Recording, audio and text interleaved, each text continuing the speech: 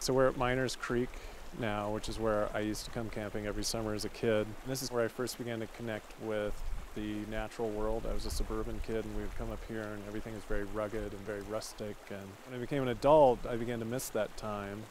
And I came back to Creede for the first time about five years ago and I didn't really have any money, so I bought an old camper and lived here on Miners Creek for six weeks. And that was kind of my reintroduction to Creede, and I began to meet people here again. It was such a welcoming community. And along the way, I met a woman who told me the story about her gay uncle and his partner who lived out in the woods, and they had recently died and sold the cat. The, she had sold the cabin and she wondered if I was interested in having their record collection. And I didn't really need a big record collection floating out in the Rockies then, but I said yes.